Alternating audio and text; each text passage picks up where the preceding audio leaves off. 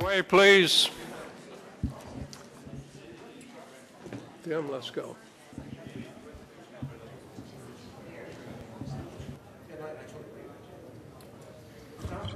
Okay, if everybody could get back in and take their seats, we will get started post haste.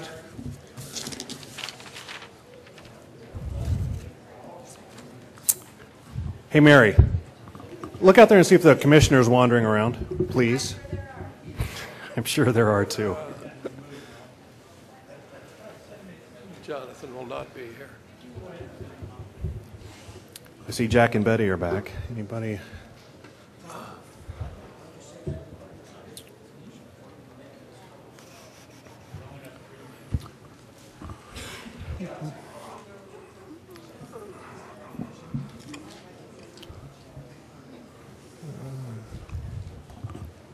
May I ask the commissioners to please take their seats and we'll get underway?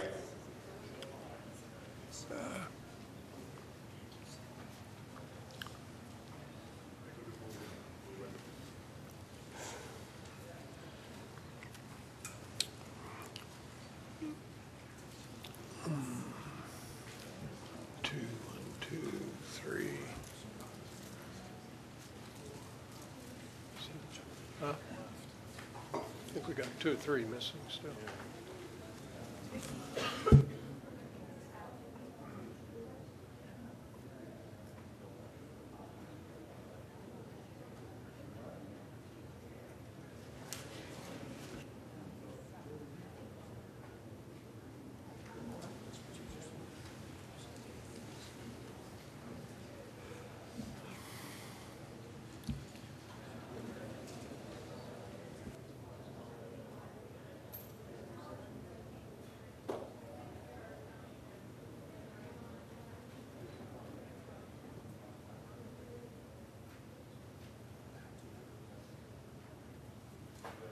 I think we can go ahead. We'll turn now to Commissioners Domenici and Peterson for our final presentation on the recommendations of the Reactor and Fuel Cycle Technology Subcommittee.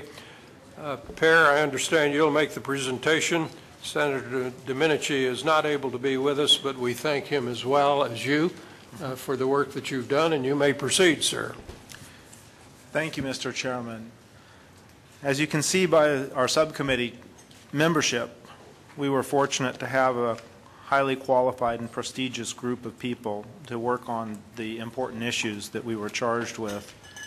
Uh, Senator Domenici is my co-chair. Our subcommittee also consists of Al Carnesale, Susan Eisenhower, Allison Macfarlane, Richard Meserve, Ernie Moniz, and Phil Sharp.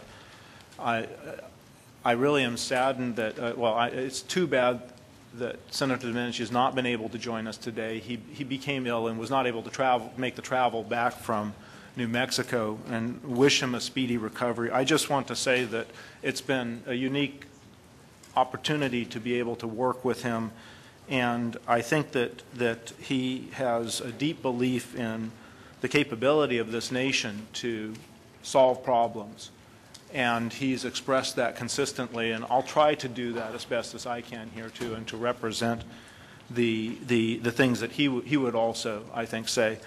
But again, I regret that he's not here to to to to, to join in with us. This subcommittee was formed to answer the call right here of the charter, specifically to evaluate existing fuel cycle technologies and R&D programs in terms of multiple criteria. And our charter then goes on to say that the criteria of evaluation should include cost, safety, resource utilization and sustainability, and the promotion of nuclear nonproliferation and counterterrorism goals. I'd also like to note that our commission is clearly not comprised to be a technology commission. Instead, we, we are comprised to be a policy commission. So we're not making recommendations for any specific reactor technology or reprocessing technology or anything of that nature. Instead, we've focused our efforts on a policy framework under which these technologies might in the future be developed. And so that's, that's the, the, the principal goal that we have. Now, Additionally, this commission's focus on policies for managing the back end of the fuel cycle, in addition to that, we've also addressed closely related question of whether any currently available reactor and fuel cycle technologies or any commercial technologies that are now under development have the potential to change the fundamental nature of the nuclear waste management challenge that we confront over the next several decades. Given these key questions, we went about our business in a combination of ways, holding public meetings and deliberative meetings and embarking on several site tours. We held three public meetings to hear from invited speakers and to receive input from in- interested members of the public, one in Idaho Falls, Idaho, and two in Washington, D.C. Our first meeting was held in Idaho Falls, where we heard from the Assistant Secretary for Nuclear Energy, Pete Miller, where he discussed the DOE's nuclear energy R&D roadmap and several of the DOE's nuclear R&D programs. We also heard from EPRI regarding the status of nuclear R&D programs in the private sector. At our first meeting in Washington, D.C., we covered a variety of topics from commercial technology options for reactor and fuel cycle technologies to the role of local communities and governments should play in the development and demonstration of new nuclear technologies and their key safety, environmental, and security concerns. We also covered issues with the U.S. manufacturing sector and the labor force's ability to support new reactor and fuel cycle technologies. Our last meeting in Washington, D.C. focused on waste management implications of fuel cycle technologies and the international nonproliferation and security implications of these fuel cycle choices. Uh, we did have classified briefings on some of the key topics there. In total, we heard from more than 50 different witnesses, and all their testimonies and presentations, along with the videos of the meetings, are posted on our BRC website. We also held three deliberative meetings of the subcommittee. One was a teleconference and two in D.C., where our members were able to voice their opinions and concerns and debate the big issues at hand. Look at Ernie right now because he has contributed consistently with many helpful suggestions. Um, I think that it's also a good point to, to mention the what we've heard report that was issued and the value of the feedback that we have received from that and asking, repeating back what we have heard and then checking to see if it's largely correct is one of the fundamental things that has improved nuclear plant safety because it is a practice which now occurs routinely. It's called three-way communication, and I think that it's important that we've attempted to do it here as well. Now, members of our subcommittee also toured several nuclear sites of interest and got to learn not just about the facilities, but also about the people and the communities that have been involved with them for years as well. Okay, the sites we visited included Hanford, Savannah River, Idaho National Laboratory, and WIPP. Members even visited fuel cycle facilities and met with politicians, community members, NGO representatives, and government representatives in France, Japan, and Russia. So, in the process of our work, we came to two central conclusions that set the context for the recommendations that I'll present in a moment. Our first central conclusion is this Advances in nuclear reactor and fuel cycle technologies may hold promise for achieving substantial benefits in terms of broadly held safety, economic, environmental, and energy security challenges. To capture these benefits, the United States should continue to pursue a program of nuclear energy RD and D, both to improve the safety and performance of existing technologies and to develop new technologies that could offer significant advantages in terms of the multiple evaluation criteria listed in our charter, those things that are important to our society. Our second, if I can get, there we go, that's good. Oops, oh boy. Uh, uh, conclusion two, there we go. Our second central conclusion actually can be phrased in a couple of different ways. One way, the first, is that no currently available or reasonably foreseeable reactor and fuel cycle technologies, including current or potential re- or potential reprocess or recycle technologies, have the potential to fundamentally alter the waste management challenge this nation confronts over at least the next several decades. Second, put another way, we do not believe that new technology developments in the next three to four decades will change the underlying need and requirement for an integrated strategy that combines safe interim storage of spent nuclear fuel with expeditious progress towards siting and licensing a permanent disposal facility. There's no doubt we're going to need a disposal facility regardless of what we decide to do on the fuel cycle side. And this is particularly true of defense high-level waste and some forms of government-owned spent fuel that can and should be prioritized for direct disposal at an appropriate repository. It is important to note that our central conclusions stand independently of any conclusion one might reach about the desirability or feasibility of closing the nuclear fuel cycle in the United States. The subcommittee simply could not reach a consensus on this issue. As a group, we concluded that it is premature at this point for the United States to commit irreversibly to any particular fuel cycle as a matter of government policy. Rather, there is a benefit of preserving and developing new options. RD&D should continue on a range of reactor and fuel cycle technologies that have the potential to deliver societal benefits at different times in the future. If and when technology advances change the balance of market and policy considerations to favor a shift away from the once through fuel cycle, that shift will be driven by a combination of factors, including, but hardly limited to, its waste management impacts. In fact, safety, economics, and energy security are likely to be more important drivers of future fuel cycle decisions than waste management concerns per se.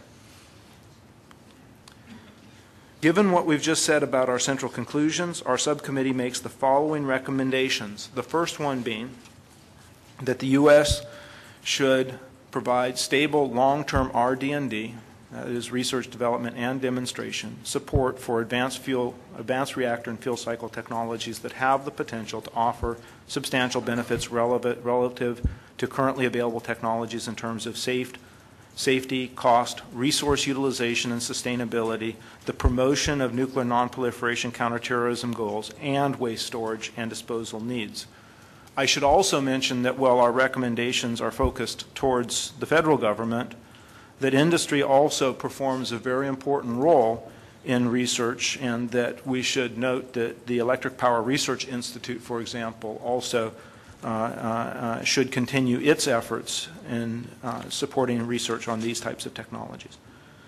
We believe that a well-designed federal RD&D program should be attentive to the opportunities in two distinct areas, one being on near-term improvements in the safety and performance of existing light water reactor technology as a part of a once-through fuel cycle, and in technologies available for storing and disposing of spent nuclear fuel and high-level waste. The second being on the longer-term efforts to advance potential game-changing nuclear technologies and systems that could achieve very large benefits across multiple evaluation criteria compared to current technologies and systems, such as fast spectrum reactors capable of continuous actinide recycling and that use uranium more efficiently, high temperature reactors that can supply process heat for hydrogen production or other purposes, small modular reactors with novel designs for improved safety characteristics, and the potential to change the capital cost and financing structure for new reactors as just a few examples uh, of, of several that merit effort. Our second recommendation is one of concurrence with the recommendation of the President's Council of Advisors on Science and Technology on the U.S. energy R&D funding. I note that uh, Commissioner Moniz is on the President's Council and has been deeply involved in developing these specific recommendations. We agree about the need for better coordination of energy policies and programs across the federal government for substantial increase in federal support of energy-related research, development, demonstration, and deployment, and for efforts to explore new revenue options to provide this support. Specifically, the recent PCAST report endorsed an earlier proposal by the American Energy Innovation Council to provide 16 billion in annual federal support for energy technology innovation, an increase of 10 billion per year over current funding levels, with all of that increase coming from new revenue sources. It is important to note that the subcommittee is not making a specific recommendation regarding the federal funding levels, regarding future federal funding levels for nuclear energy R&D, RD&D. And also, I should again note that the industry role in RD&D investment is also very important, and I would believe merits increase as well.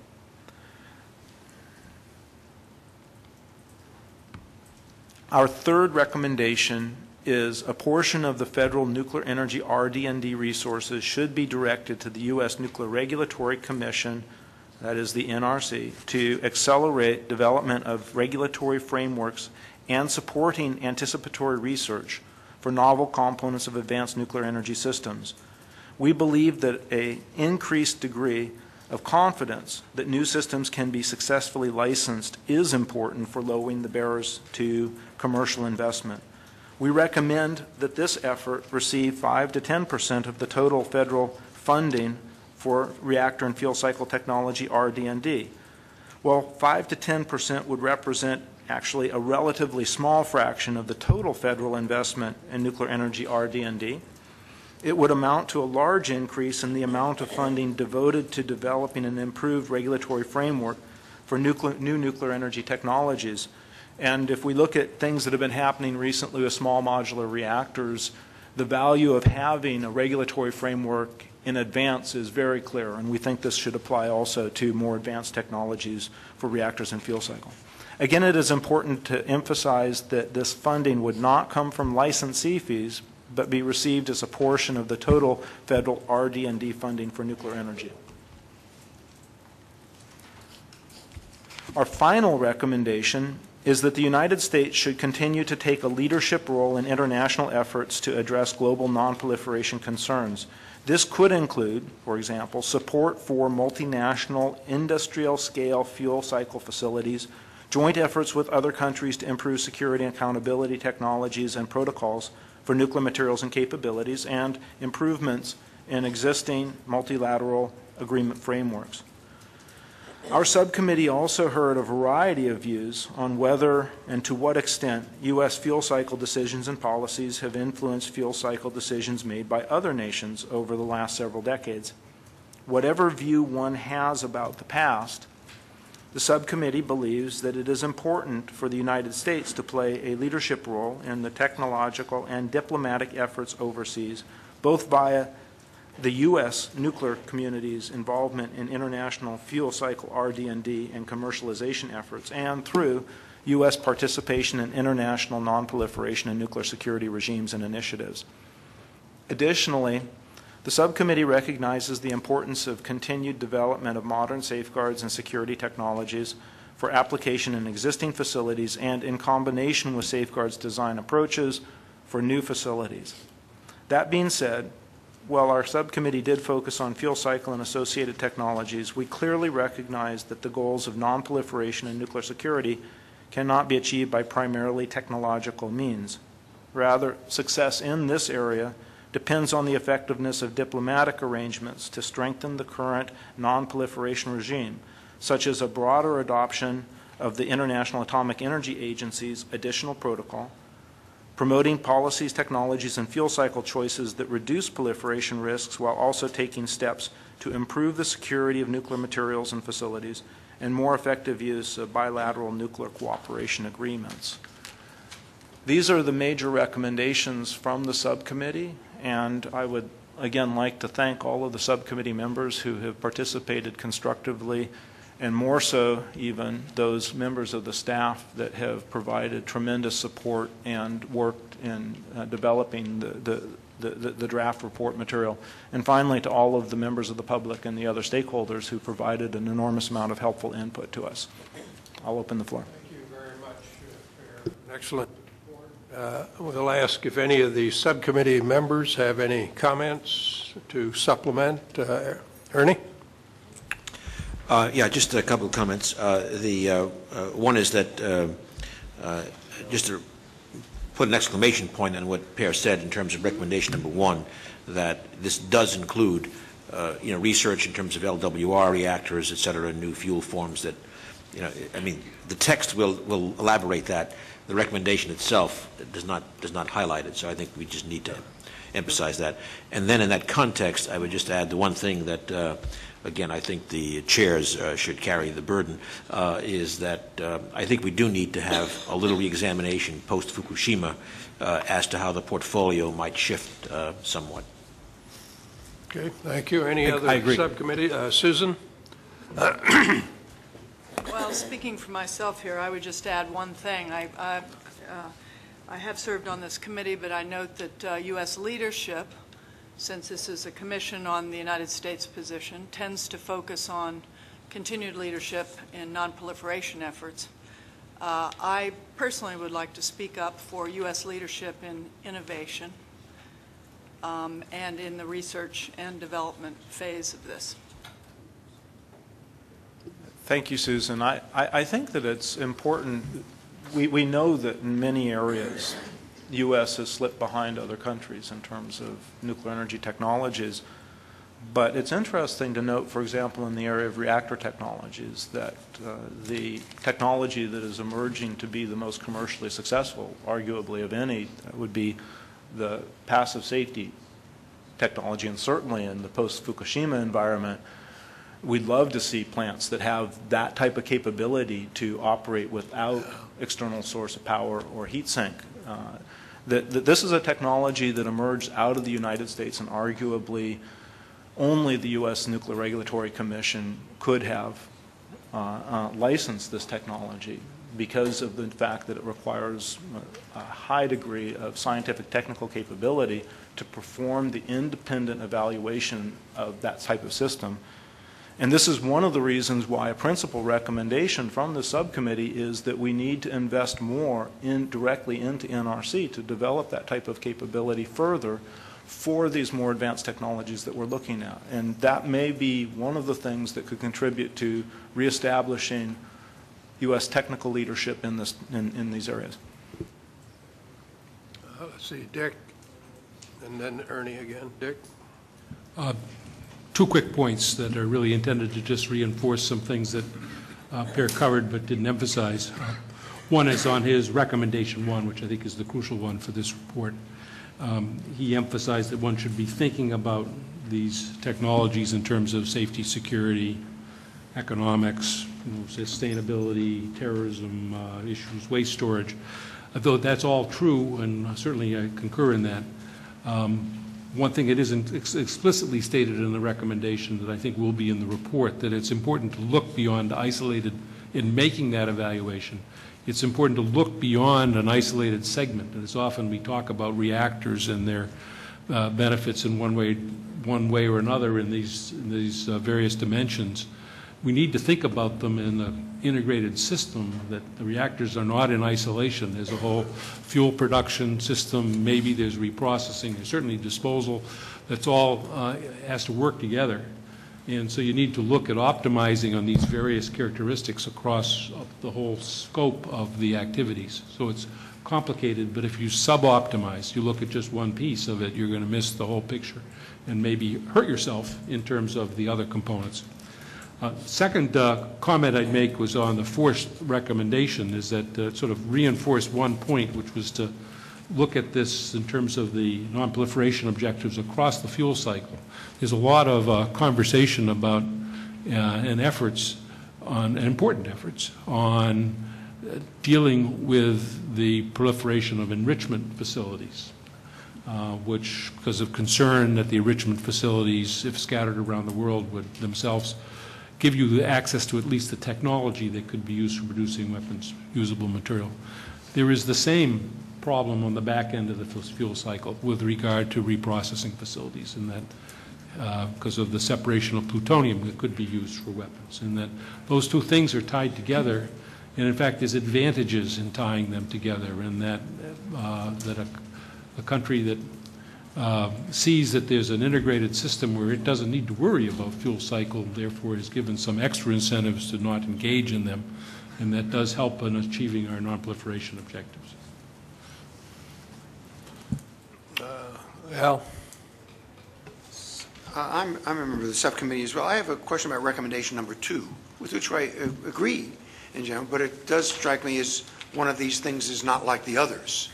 Uh, This is a recommendation about general investment in energy technologies, and I don't, it's not that I can't see any connection, but I don't understand why we would be recommending more or less investment in wind or solar or coal or anything else. Why is it not uh, specifically about nuclear technologies?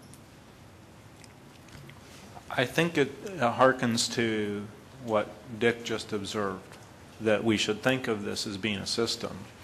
The nuclear part is being a system, but it's certainly not a system that operates in isolation of all other energy sources.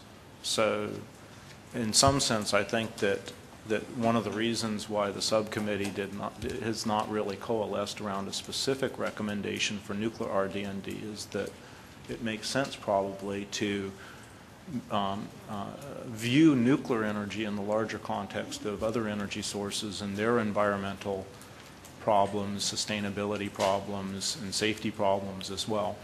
I certainly personally feel that, that, that that's, it's, it's a good thing to do. But I think your point is important in that it merits uh, additional work and consideration as we work towards the final draft. Any further comments? Yes, Ernie? Uh, Yeah, uh, two. Uh, One one is, um, uh, and actually it may fit into this last uh, uh, exchange, is um, in some way, but especially in the context of the DOE uh, leitmotif of the day, I think we should emphasize that it's not the recommendations, but that I think the subcommittee as a whole felt that the 2009, I guess it was, DOE technology roadmap was, while it may lack some implementation details, was a step in the right direction, uh, and it really broadened the agenda uh, to be much more strategically aligned, uh, including things like LWR work, waste form work, uh, all the things that frankly had been missing for quite some time in the program. And I, I, I think the subcommittee was, was uniform uh, in that. Uh, the second point I would make is, is going back to this proliferation uh, uh, discussion, uh, I think there's a bit, I think there's a, frankly, a bit of a gap overall in terms of how the, the commission as a whole can discuss some of the institutional and policy issues of proliferation more broadly, since, again, we, this subcommittee was more on the technology uh, side. We heard a presentation at one of our meetings from the Department of State uh, I found rather unsatisfactory uh, with uh, a rather set of ad hoc actions that do not add up to a policy. Uh, and, um, and I do think that does impact our charge. And so I don't know what the solution is, Mr. Chairman, uh, a little rump group or something, but I, I do think we need somehow to grapple with these broader issues of proliferation. Yeah, I would second that. Thank you. Anything further? Perry, I think you got off a little easy myself. That is a very, very good report. We thank you, and please extend our thanks to Senator Domenici Domenici as well. Mr. Chairman, I, I, Mr. Chairman, I, I think it's because nobody told him that he was supposed to have seven recommendations. Okay, thank you, Per. That completes our formal agenda. We'll turn now to the public comment. Before we do, I want to remind everyone that the recommendations that have been discussed here this afternoon and this morning may or may not be adopted by the full commission. And we will now integrate the work of the subcommittees and the views expressed here today into a draft report for public release at the end of July. Uh, We'll now turn to public comment. Uh, We're very pleased that we have 16 persons who have indicated they want to make a statement to the committee. Uh, The first one will be Robin Read, NFWL. And I'll ask uh, her or him, is it? I'm not sure. Yes, would you do it from the podium? We can uh, hear it a little better, I think, if you do it from the podium and it's connected to the, um, the video. Uh, and she will be followed by Tom Cochran of the NRDC. Uh, Please proceed. You have three minutes. Now, may I uh, emphasize to you that you will be keeping a clock on you here, and when the yellow comes on, they have how much time? When the yellow comes on here, you have one minute left, and when the red comes on, your time is expired. I'll be very careful about my time, for goodness Okay, sakes. Thank you. Good afternoon, everyone. I'm Robin Read, President and CEO of the National Foundation for Women Legislators, now a 73-year-old organization of over 2,000 elected women officials. I'm delighted to be here. Our, our Energy and, Energy and Natural Resources and Agricultural Policy Committee last year passed a resolution that I'd like to share with as many of you as are interested. We, we did mention the fact that the current administration is committed to restarting America's nuclear ind- power industry, although they've terminated Yucca Mountain re- redepository project.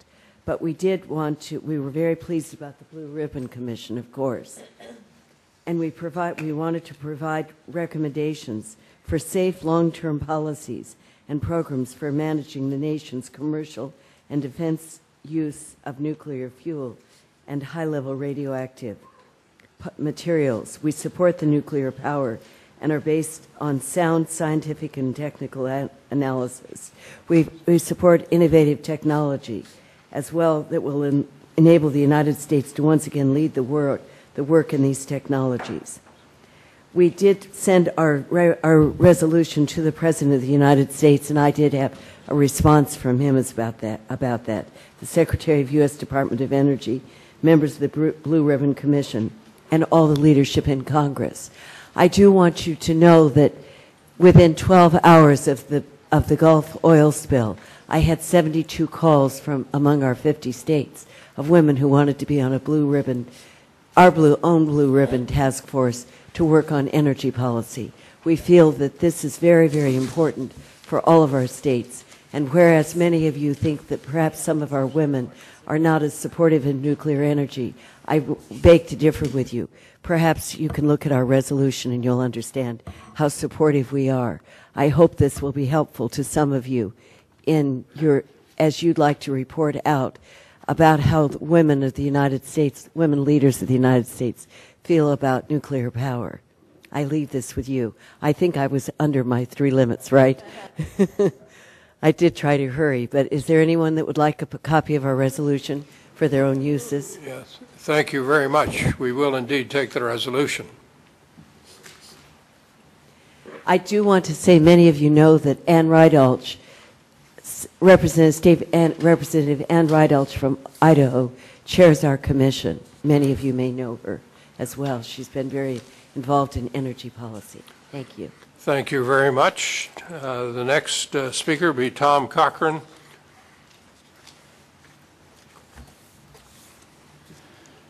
Mr. Chairman and Commissioners, uh, your three-minute time limit prevents me from telling you what I like about your findings, so I will um, tell you what uh, my problems are.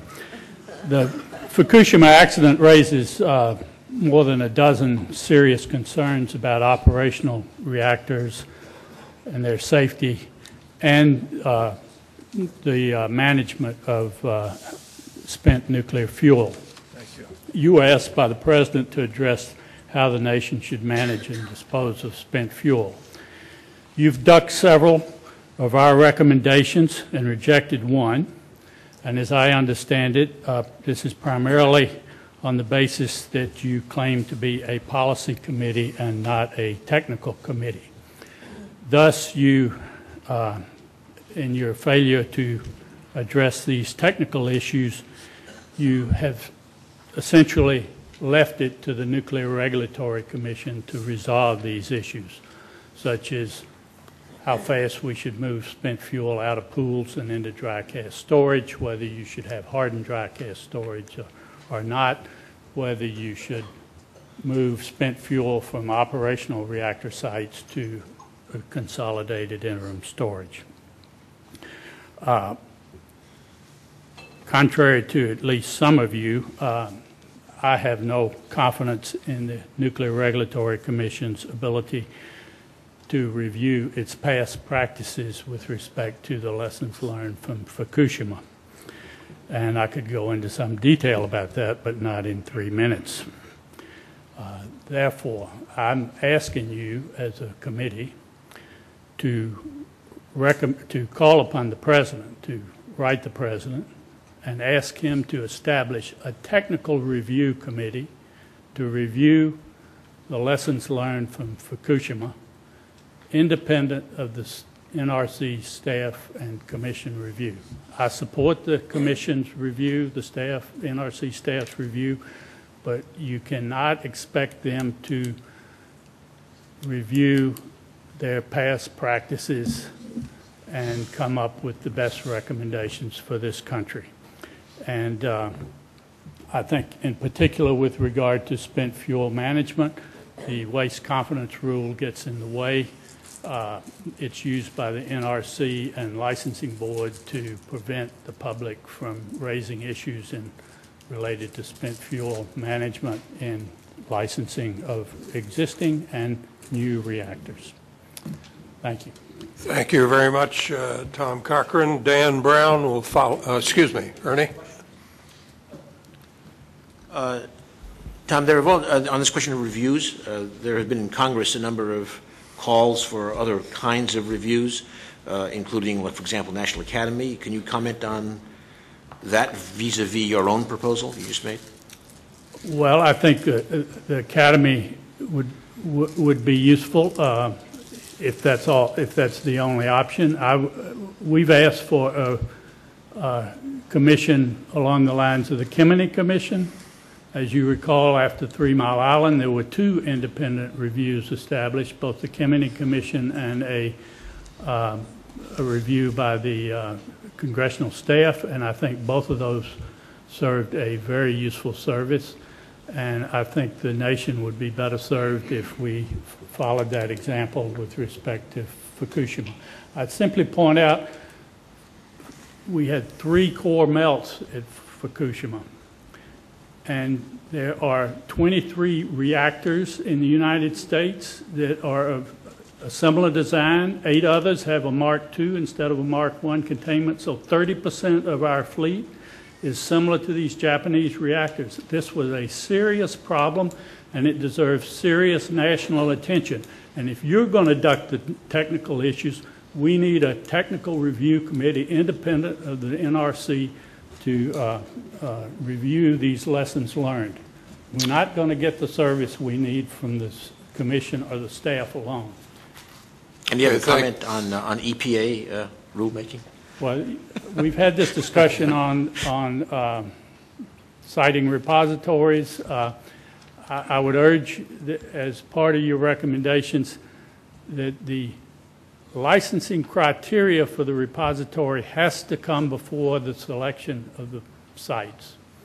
Uh, Otherwise, as we saw in the past with respect to Yucca Mountain, uh, the agencies uh, that are concerned, EPA, DOE, OMB, Justice, go into the back room and they massage the criteria to ensure the licensability we, of the we, site. we we actually say that in the Okay. report. Thank you very much, uh, Mr. Cochran. Dan Brown is uh, the next speaker. Good afternoon, ladies and gentlemen. Um, I'm going to blow through this as quick as I can. Um, uh, In our sec, your second meeting last year, this, this commission was originally impaneled as, uh, uh, to deal with U.S. nuclear, U.S. used fuel. And uh, in your second meeting, I made uh, some brief comments, and I said we really should look at the global issue because global events affect America. Um, And I think Fukushima has amply proven that was wise.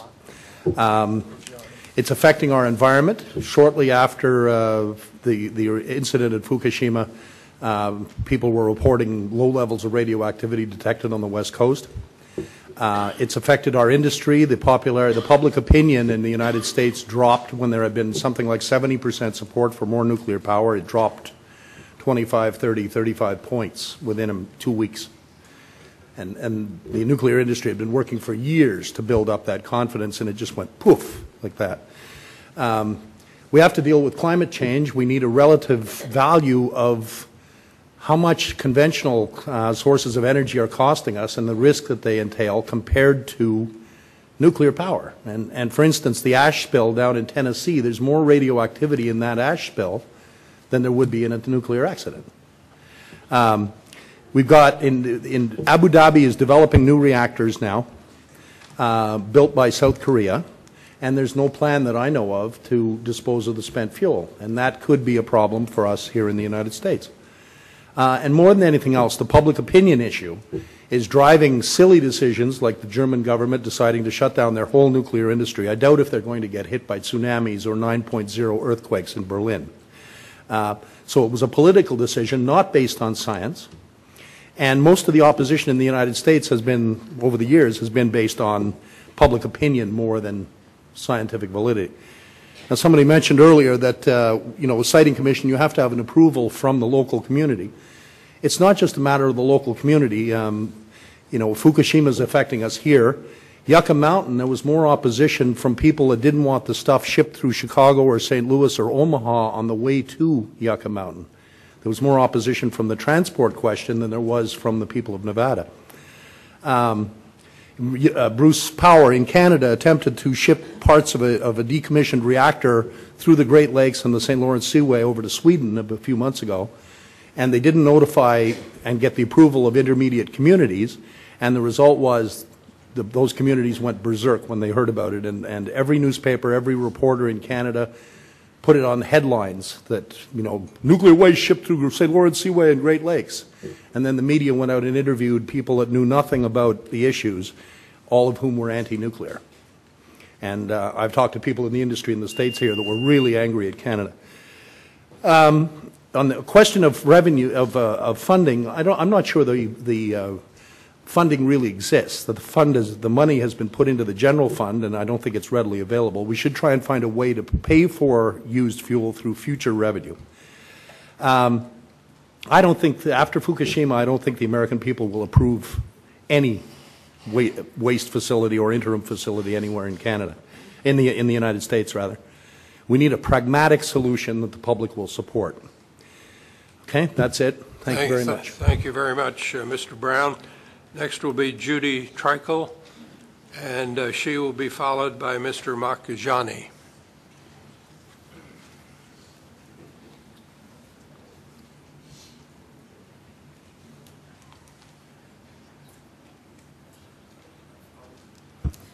My name is Judy Treichel. I'm from the Nevada Nuclear Waste Task Force.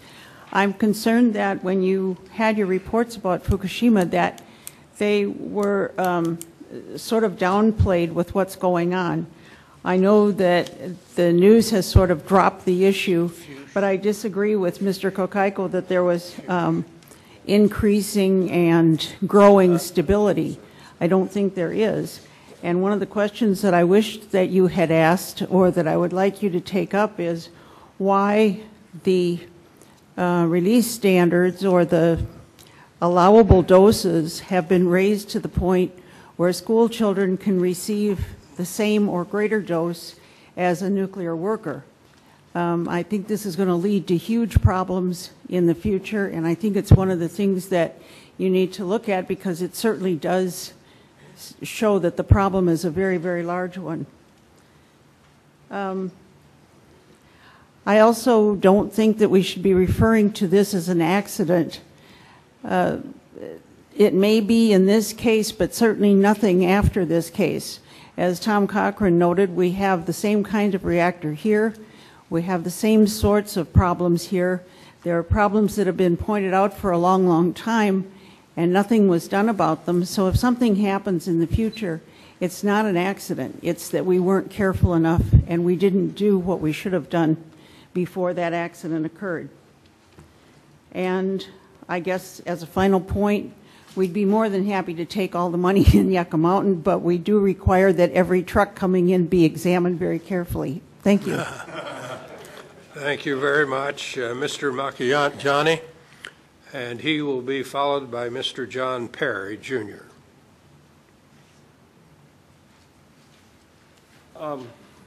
Thank you very much, uh, Mr. Chairman. I'm Arjun Makhijani, President of the Institute for Energy and Environmental Research. Um, I must say you could have been uh, a little better served by your briefings about Fukushima. I was a little bit shocked to hear that the NRC did not know how much spent fuel there was at Fukushima and couldn't give you a relative assessment of what there is here, so let me give you a little vignette anyway. Uh, this information is public by the Japan Atomic Industrial Forum since March. Roughly 50 tons in Unit 1, roughly 90 tons in Unit 2, uh, or 3, 100 tons. I don't know whether I got Unit 2 and 3 mixed up. About 240 metric tons, including the core, in Unit 4. When you add all those up, it is less than in the spent fuel pool of Vermont Yankee alone, which was relicensed without requiring dry storage in the middle of this crisis. I think the NRC is doing a shocking job, and I think their response to your questions about dry storage, uh, well, I, since I can't think of any kind, polite ways to say it, I won't.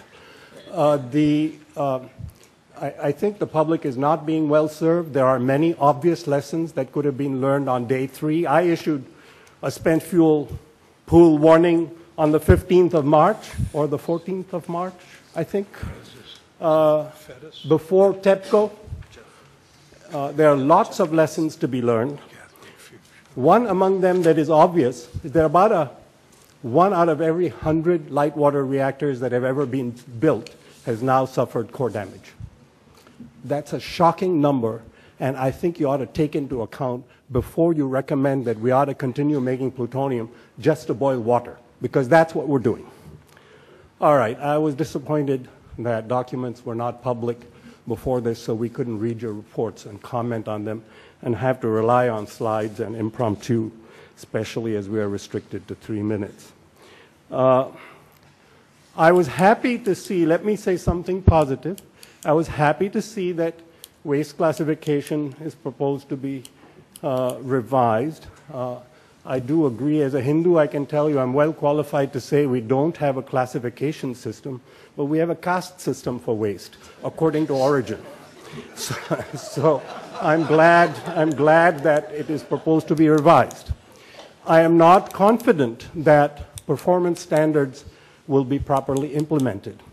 Uh, performance standards are very flexible. In regard to deple depleted uranium, the NRC staff did a performance assessment in which they said there would be no erosion at an unspecified generic site for one million years. And then during the public discussion, of which a transcript is available, the author of this report essentially said it was silly to do that. And the NRC's own expert also said it was silly, and then we all agreed that silly wasn't an appropriate regulatory term, or something equivalent to silly, I can't remember the exact word. I can tell you that in the, in the licensing technical document for the Utah Enviro Energy Solutions waste site, there is a number that says that Utah can dispose of more uranium than the weight of the earth per gram of Utah soil. I testified to this under oath in 2004 at the same time as the government, NRC, and the company said, the license applicant said that it was a scientifically sound report, and to date it has not been corrected, nor have I been corrected. I believe uh, nuclear engineers around the site, you can see how many kilograms 10 to the 37 picocuries is, and arrive at the same conclusion pretty, pretty ease of, of uranium-238. Your time has expired, Mr. Makhijani. I think I have zero confidence in the, in the ability of the establishment to do sensible performance standards, given that for seven years they have not changed the document that says we can dispose of more uranium than the weight of the earth per gram of Utah soil. Thank you very much, Mr. Makhijani. I understand Mr. Perry is not here. Uh, call to the microphone Catherine Fuchs, and she will be followed by Jeff Fettus. Hello. Um, first, I just want to thank the Commission for the concern they've shown over the incidents at Fukushima. Um, I'm heartened to hear that a lot of these recommendations are going to be further investigated in light of what's happening in Japan. Um, and I wish that I got that same feeling from the NRC. Um, so I'm representing the Alliance for Nuclear Accountability, which is an organization of 36 groups around the country who live downwind and downstream of weapons production facilities, um, waste storage sites, and reactors. Um, I cannot claim to represent everyone in the communities affected by, um, by nuclear waste and uh, spent fuel, uh, but we do have a very diverse coalition, geographically diverse, economically diverse, different backgrounds. Um, and they've all, they all function on a consensus process and have decided that hardened on-site cask storage is really the way to go until we find a solution for disposal. Um, I just wanted to reiterate why we see this as um, the way to go. Um, first, there's the realities of consolidated interim storage. Um, is it fair? Um, I'm not sure that it can be, because if waste is being produced all over the country, brought to one location, is it really the responsibility of that one community um, to accept the waste created elsewhere? Um, we don't think it is. Uh, we think that the communities that create the waste have a responsibility to deal with it. Um, additionally, I'm not sure how it's politically possible to get a, a, community to take interim waste when there's not a plan for a permanent um, solution. Um, we, you know, I know that we're just trying to put a way forward and not specific details. This isn't a siting commission, um, but this is a reality that we're going to continue to run into. Um, so perhaps the permanent disposal and interim storage really do need to be looked at together. Um, finally, um, I just wanted to mention um, the cost of transporting waste. Um, earlier, um, someone mentioned that uh, we can look at the European model and how safe they've been able to transport waste. I think that's great that they haven't had an accident, but I would like to point out that the European railroad system is much more advanced than the United States railroad system. Um, you know, there's never been a single fatality in, um, in all of France's railroad operations. Um, we may not have the, the same record. Um, so there will be a lot of investment required um, for transportation if we decide to go with interim um, consolidated storage. so thank you. Thank you very much, uh, Ms. Fuchs. And uh, the next speaker is Jeff Fettus. He will be followed by Kara Colton. Thank you for having me. Um, I've set my stopwatch so I can stay under the three minutes and also see if I can have time to say something more supportive, like my boss, Tom Cochran. Uh, Commissioner Lash uh, stated that his subcommittee coalesced around the four basic concepts, need for disposal, a geologic repository with a new process, and a new entity. That I am supportive of, and as is NRDC. However, Commissioner Rowe also noted that shortcuts are what's gotten the process into trouble, and we, we might express it a bit more bluntly, but we also agree with that. Let me suggest a key and specific recommendation that must be in your July report, and certainly in any final report, if you want to achieve what you've set out to achieve, which is a transparent, workable process that arrives at siting and development of a geologic repository, which importantly isn't just a geologic repository by fiat, but engenders public trust and confidence. Amend the Atomic Energy Act to no longer treat radioactivity as a privileged pollutant. Specifically, I'm talking about the exemptions of radioactivity from our clean water and hazardous waste laws. As several of you have noted in your questions today, throughout the process, the, the current situation is not working, and not just in terms of funding, although that's its own discussion.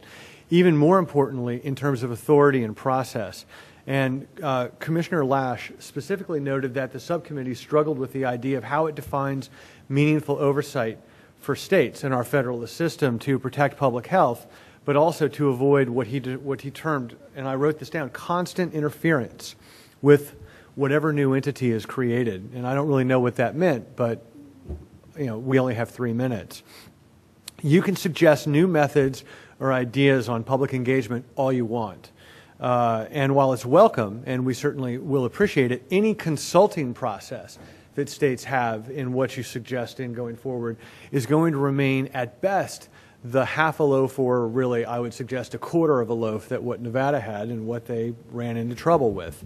Un until such time as states can set cleanup and other protective standards for water, land, and air that they can enforce via RCRA, the Resource Conservation and Recovery Act or the Clean Water Act with the attendant citizen suit provisions, you won't get that public trust and buy-in. Let me be clear, I'm not suggesting a state would be the licensing regulator of a geologic repository, or the EPA would not be setting radiation protection standards, because I agree with that basic division of resources.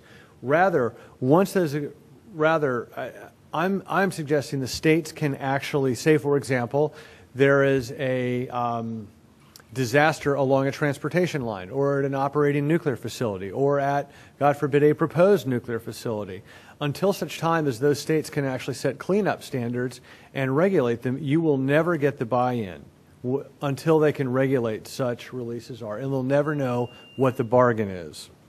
So, in conclusion, unless and until you recommend that Congress do away with these anachronistic exemptions, you're not going to get the public trust that you're looking for. Thank you.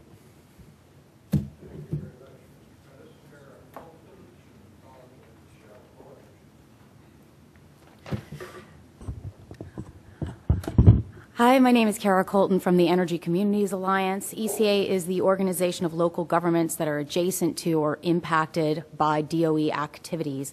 Many of our members are some of the communities that have expressed an interest in hosting future nuclear facilities. Uh, thank you for the opportunity. It's been great today to hear words like inclusive, transparent, open, consent based, negotiate, clear rules, that there's an interest in defining interim and what that means um, and that there was a recommendation to take the time and provide resources to ensure that the concerns of the communities are heard from the communities directly from themselves rather than just assumed. Um, I want to speak to very briefly and submit for the record a letter that ECA submitted earlier this month to Secretary Chu. We asked that DOE review the safety and security of defense related high level waste and spent fuel storage in light of what happened in Japan and as the NRC reviews domestic nuclear power facilities and spent fuel uh, storage practices. More specifically, we've asked Secretary Chu to review the impacts on local communities of long term storage of defense related spent fuel and high level waste, and to analyze the cost and impact of cleanup budgets on storing and securing this waste at DOE sites. In order to ensure the health and safety of local communities, the safety and security issues must be reviewed not only because of what happened in Japan, but regularly. The findings should be reported publicly. This would be helpful to build trust amongst DOE, local communities, and with the public. In regards to the impact of cleanup budgets at DOE sites, ECA is concerned that cleanup funding is being used to store and secure the defense related high level waste and spent fuel. This could prevent essential cleanup activities from being completed. Funds used to manage high level waste at DOE sites were cut in, 20, in 2011 and may be cut further in 2012. The costs associated with storing and securing waste can be significant and may well grow, and they're coming out of the cleanup budgets. To ensure future storage needs are met while these issues are being discussed, the disposal issues, new facilities are likely to need to be built. For example, uh, storage facilities at Savannah River Site and Hanford to store the vitrified waste that was originally destined for Yucca Mountain. Securing these new facilities are going to add an additional cost. Another example um, of the impact of budget cuts after WIPP's budget was recently cut, the Carlsbad City Council voted unanimously in an emergency session to return 3.5 million in DOE infrastructure funds in order to help protect about 80 jobs at WIPP. Uh, this leads to another ECA recommendation, and that's that the administration consider to, sorry, excuse me, begin the dialogue with communities now on developing interim storage, especially while we have and before we may lose experienced workers uh, due to these budget constraints. Thank you, and I'll submit the letter to the record. Uh, Ernie? Uh, Just a question, uh, 'cause I'm I'm not sure I I understood something at the beginning of your of your remarks. Did you say your organization includes a number of communities interested in hosting? That may be sites? interested in hosting future facilities. Yes. Can you name them? I mean, I, I, We're not I- a siting I could commission. name them. I'm not sure I should name them. But I mean, I mean, Carlsbad is one of our members, for example, that has expressed interest in, in possibly hosting future sites, you know? Thank you. Uh, The letter you referred to will be part of the record. Uh, Michelle Boyd is uh, next, and she'll be followed by Michael McLay. Thank you. My name is Michelle Boyd. I'm with Physicians for Social Responsibility, and I uh, presented to you on your very first meeting, the very first day that you all met, And what I presented was the principles for safeguarding nuclear waste at reactor sites. And I'm highly disappointed to not see any reference of this in your summary of what you've learned from all the public input. Um, this document calls for safeguarding the waste, hardening the waste at the waste sites. It's signed by 100, over 170 organizations from all 50 states. This is what the communities that live near these sites want. They do not, they do not, let me repeat, they do not want to move the waste to some willy-nilly to some interim storage site. They, the, there is disagreement, there isn't agreement about permanent disposal and how we go about doing that, and I think that that's a really important piece that the commission is, that, your, that your commission is looking at. But to try to claim that the lesson from Fukushima is let's move this stuff faster than ever is, is completely missing the point. It took nine years from the time that the agreement for PFS was signed by the, um, by the leader of the Goshute tribe to the time that the NRC gave the license Nine years. Are we going to wait nine years to deal with the lessons of Fukushima, which is that overpacked pools are dangerous? That lesson, we, don't, we know. We don't need to wait for a final NRC 90-day um, review to know that that is a serious problem. And so what the communities around these sites want is for this waste to be dealt with. We want the security threats to be dealt with now. And that should be your number one, absolute, your number one um, recommendation. And we're very disappointed to see that it's been completely glossed over. Um, and then earlier this, uh, later this, early, earlier this year, we sent a letter on, and we presented to you on February 2nd um, with another 70 some groups laying out the reasons why we oppose interim storage. If you continue down this path, you will have a lot of community groups fighting you tooth and nail every step of the way. If you go down the path of saying, okay, let's deal with the real security threats and let's involve the public in that process, you will have more cooperation. Thank you very much. Thank you very much, uh, Michelle Boyd, and now Michael McLay.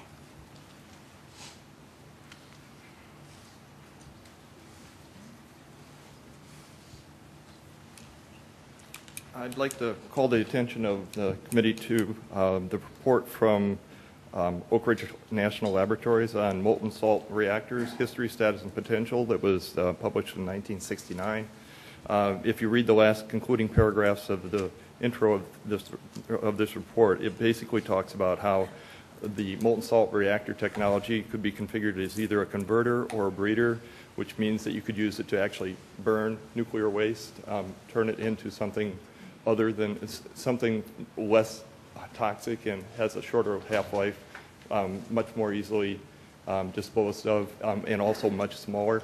So instead of looking at the um, waste fuel that's been piled up as a, a, waste, we can move it back over into the fuel column and fuel these kinds of re reactor technologies. These reactors are um, basically passively um, designed, so uh, they automatically shut down if um, something goes wrong with the system. As a matter of fact, the way that works is there's a tube that has a, a piece of frozen sol uh, the solvent that is in the, the liquid uh, reactor. It's frozen in a tube at the bottom. If the power goes out, that tube dissolves and the liquid all just goes down into a tank below hand, below, below the reactor. So it's a, a very nice design.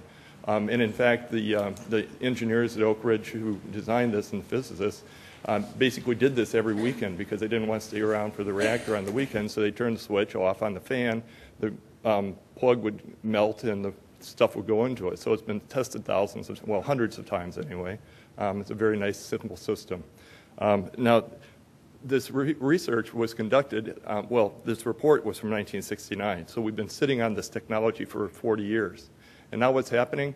China is investing a billion dollars in this technology because they got our reports off of, uh, well, a website that has all the reports on it, and they're going off to Im implement this technology. So we could replace the current technology with breeder um, converter reactors that could be converted into breeder reactors and burn up the fuel um, that's sitting on, um, in as waste right now, burn it up as fuel instead. So that's basically the, the oh, and one other thing I wanted to mention. Um, you missed a really great opportunity yesterday. The uh, Energy Thorium Alliance had a meeting, a conference here, where we talked about this. Um, I think, Perwith, you were there?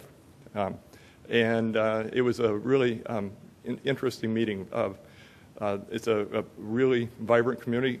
Uh, Kirk Sorensen's in the audience, he's got a website called Energy from Thorium. I think he's given a talk, um, presentation before this committee before. And I em- emphasize this is technology that could solve problems instead of having everybody sit here saying, well, what are we going to do about the problems? Build these reactors to burn the um, fuel. Um, we get more energy out of it instead of putting in a hole. Thank you. Thank you very much, uh, Mr. McLay. Mr. Michael Conley, uh, to be followed by Mr. Robert Orr Jr. Mr. Conley.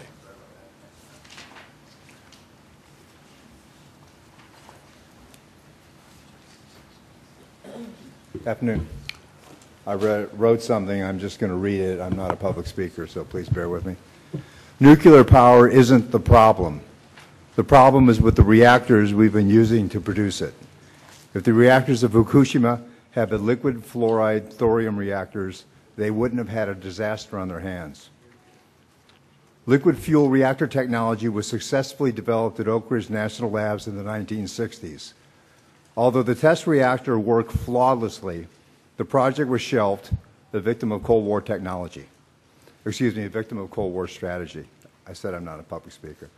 A LFTR is a completely different type of reactor. For one thing, it cannot melt down. It is physically impossible for a LFTR to melt down. And since it's air cooled, not water cooled, it does not have to be located near the shore or near any water source. It can even be placed in an underground vault. A tsunami would roll right over it like a truck over a manhole cover. A LFTR uses liquid fuel, not solid fuel, nuclear material dissolved in molten fluoride salt.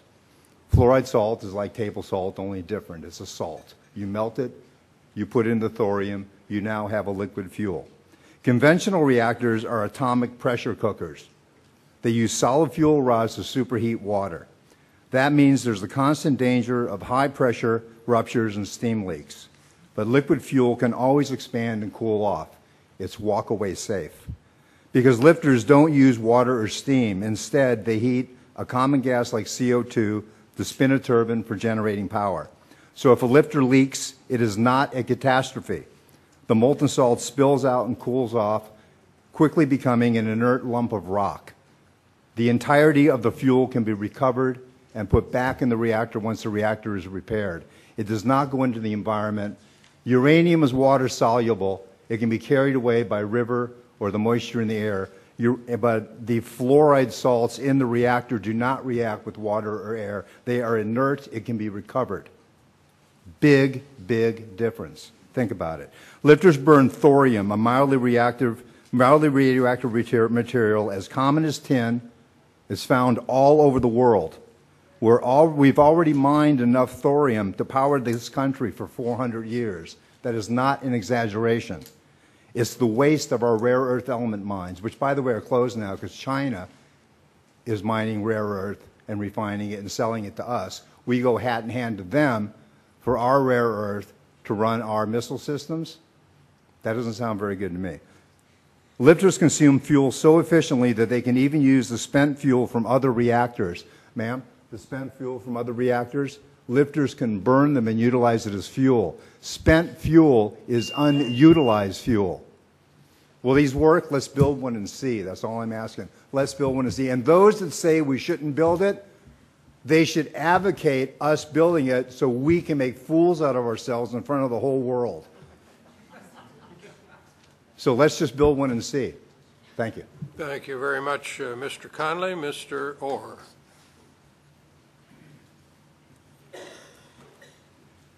Mr. Chairman, ladies and gentlemen, uh, my name is Robert Orr Jr. I'm a retired attorney from Franklin, Tennessee, a member of the Thorium Energy Alliance. I was here for the same conference that's been referred to. A lot of my thunder has been stolen, which makes my job a lot easier.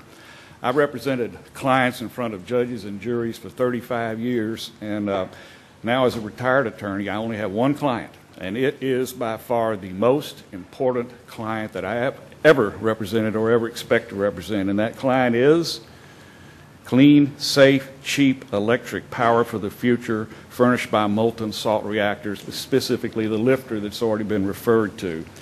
I don't have time to go through the, uh, the manifold benefits and superiorities of molten salt technology because we're not given enough time.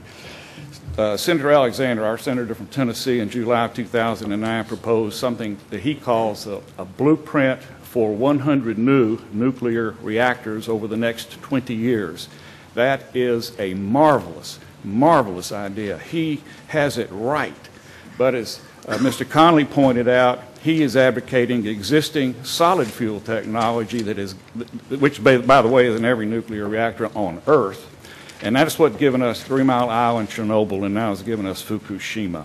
The differences between solid fuel reactor, the reactors of the past, the 60-year-old technology that's done pretty well but not well enough, and the, the new old technology, which is only 50 years old, as we've heard about with uh, Alvin Weinberg and his brilliant scientists at Oak Ridge, and that's molten salt technology. Um, it will address virtually every problem that you can identify associated with solid fuel uh, reactor is solved and solved forever by molten salt technology, the LFTR. Now, the reason we're members of this uh, uh, organization is to spread the word, to educate. People who are against LFTR technology either don't know about it, and that's what we're trying to, uh, to, to solve, but if they do know about it and they're not in favor of it, then it's everyone's job to ask why. Why are you not in favor of it? And then listen very, very, very closely to the answer, analyze the answer. I can virtually guarantee that the answer that you hear will not solve the uh, electricity problems for the rest of the world and for the rest of history in a clean, safe, abundant, cheap way. LFTR technology will do that. The Chinese are developing it. While, while y'all are sitting right here, the Chinese are working vigorously and aggressively to take this technology away from us. And then, as Mr. Conley pointed out, when they do that, we're going to have to go to them hat in hand to get it back. It, it's our technology. It's sitting on a shelf. There are scientists at the University of Tennessee today who would like nothing better than to dust that technology off, start where it ended, and I think sincerely within 10 years we could shut down every coal plant on Earth. Thank you. Thank you very much, uh, Mr. Orr. Mr. Bennett, Brian Bennett is next, and he will be followed by Parker Griffith. Mr. Bennett.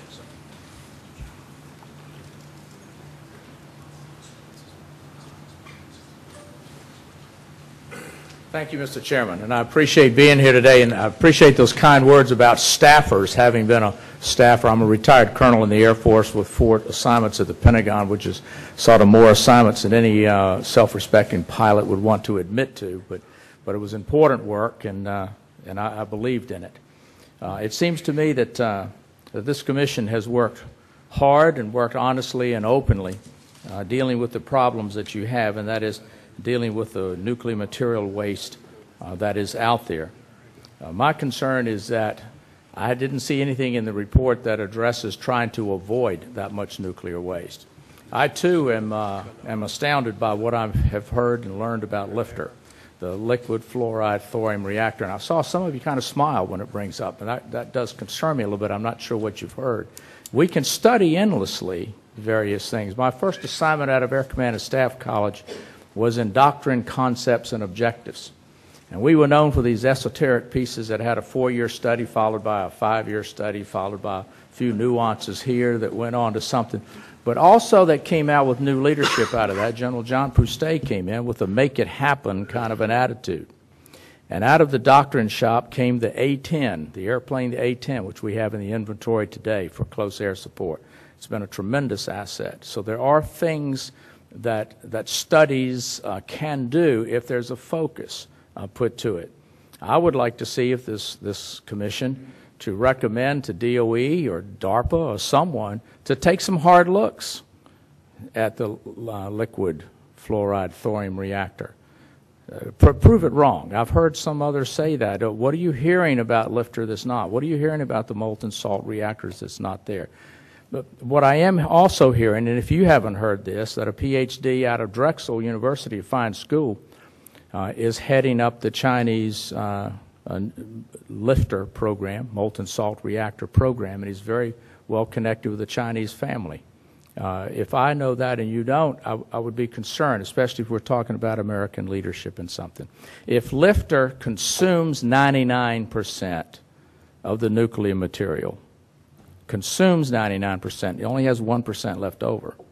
Instead of a light water reactor that consumes 1% and has 99% left over, that would certainly seem to me to make the, the, the problem of finding safe nuclear storage a smaller problem, uh, at least uh, in volume, if not anything else. Uh, I would I would ask this this commission to please take a look at something that is safe, something that operates in one atmospheric pressure. It's not going to blow up on you. That is passively safe, and that if, if it does lose power to it, the freeze plug uh, and the thing uh, blows out, and it just it, it just melts into a uh, a vessel of salt. It's passively safe, in other words. That there are a lot of attributes that there are people who can talk to you uh, and perhaps challenge some of the other things you may have heard about it. And I would ask that that, that be done and DOE take a look at it. Thank you. Thank you very much, uh, Colonel Bennett. We now have Parker Griffith.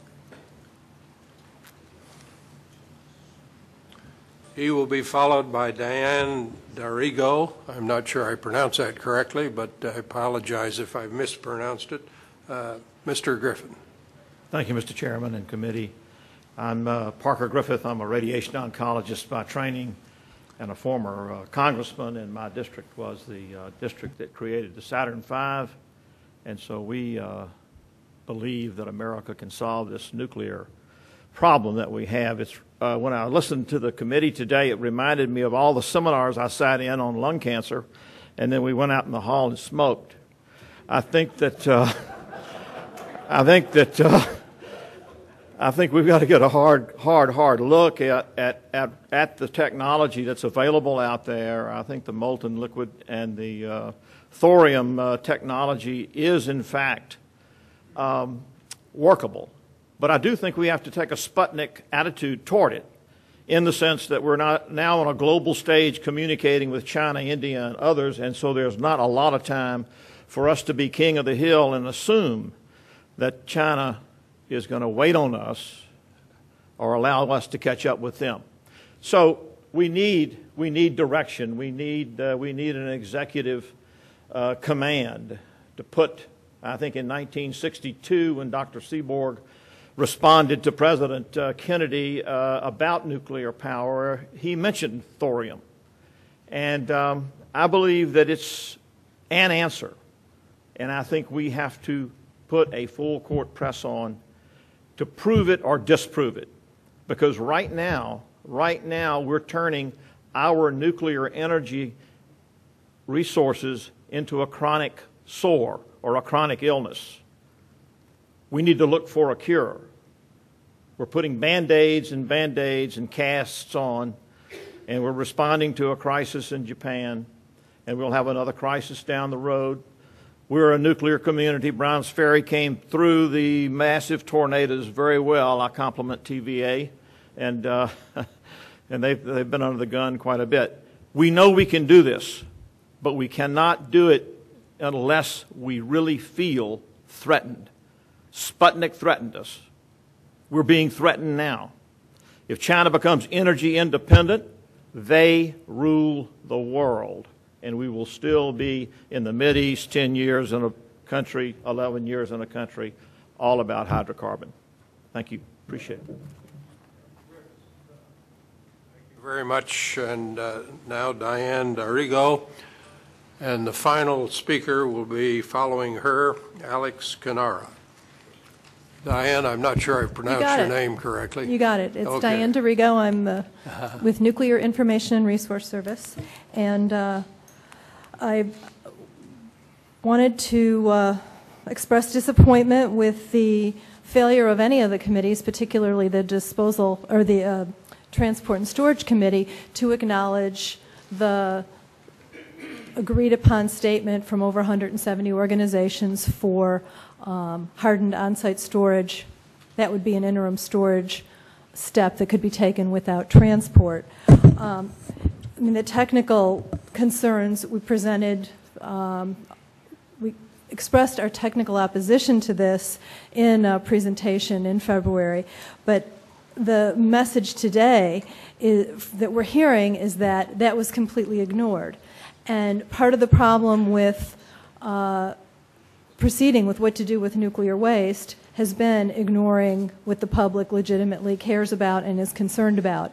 And so I would uh, repeat what others have said, but reemphasize that if you want to involve the public, if you want public support, you can't take our advice and then completely ignore it, not even address it. So this is just a draft, so maybe in the final we'll see some expression of um, an opinion about the concern, the recommendations that, that we've made. Um,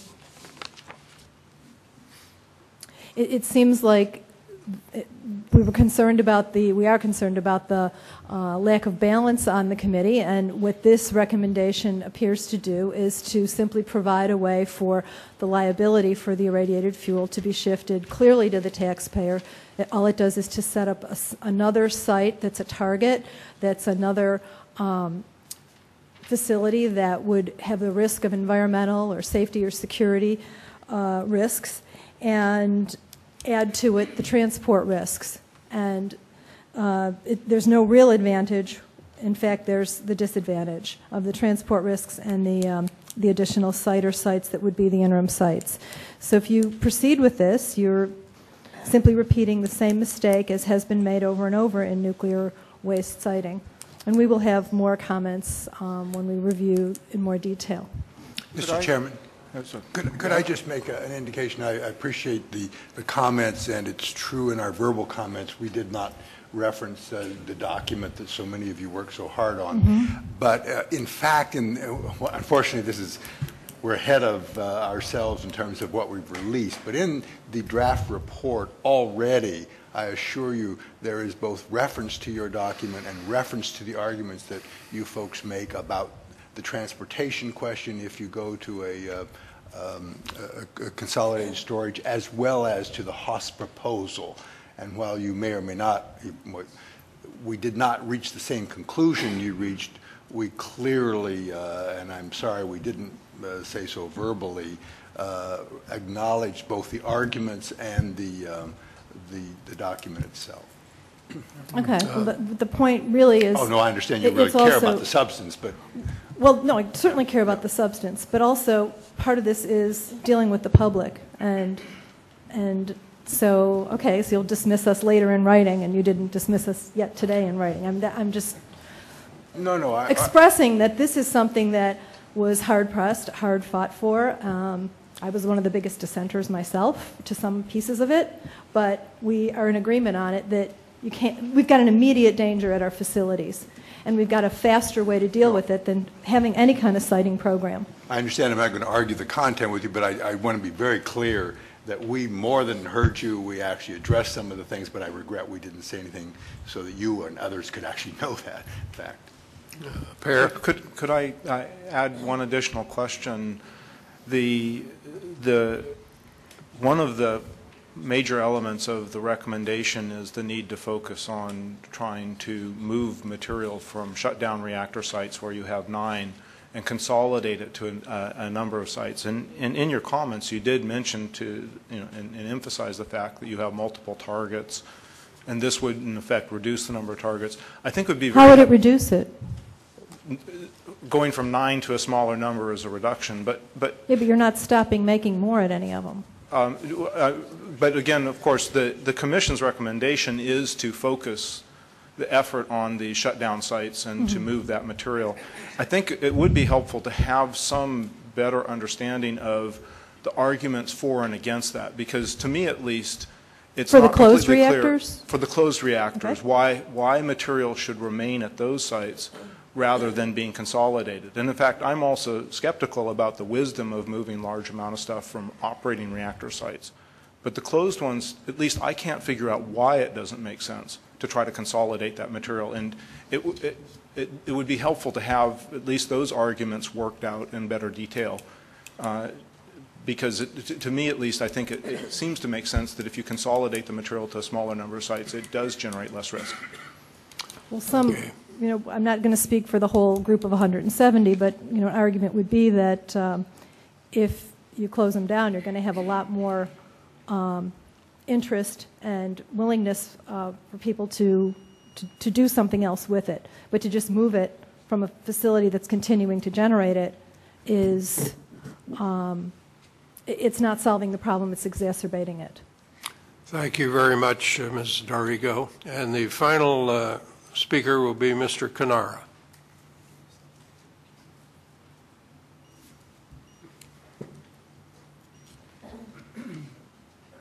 Hello, pardon my dress. I uh, had to walk across town to find this place. I'm from California, so I don't know much about D.C.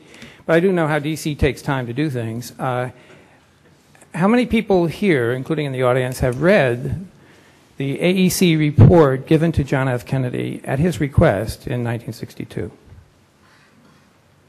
It's good. Someone has. Very rare event. It's only entitled Civilian Nuclear Power. And it addresses directly the fears that they had at the time that we would fall behind in having energy sufficient for economy and safety and world power in 1960s. And it specifically outlines what we should have done, and we have not done it. What we should have done, according to the report, was to start with a light water reactor that Hyman Rickover put in his submarines that Alvin Weinberg helped design. Uh, and then, as we move ahead with the breeder reactor program, we would substitute and eliminate these water-based uh, coolant systems, which are giving us all the trouble we now experience. Which actually is not that very much trouble. Nuclear power is probably the safest form of mass energy uh, generation that any uh, that humans have ever invented. Uh, certainly, the invention of fire 400,000 years ago, or control of it, uh, has not has a, a large number of casualties.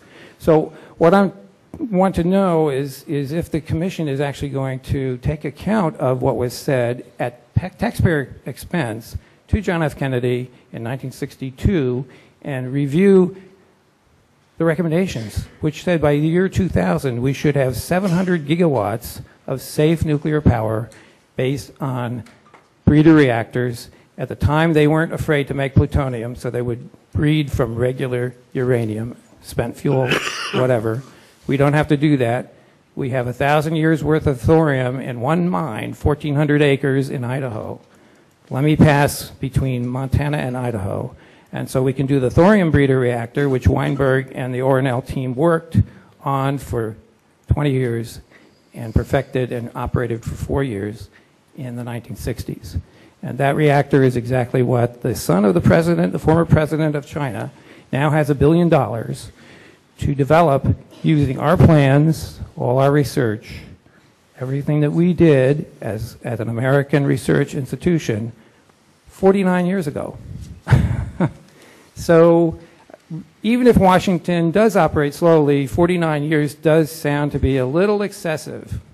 And that's the point I think we need to make with this commission to whoever's going to listen to this report. Right. Thanks. Thank you very much, Mr. Carrera. Thank all of our presenters uh, for their statements this afternoon. Thank the commissioners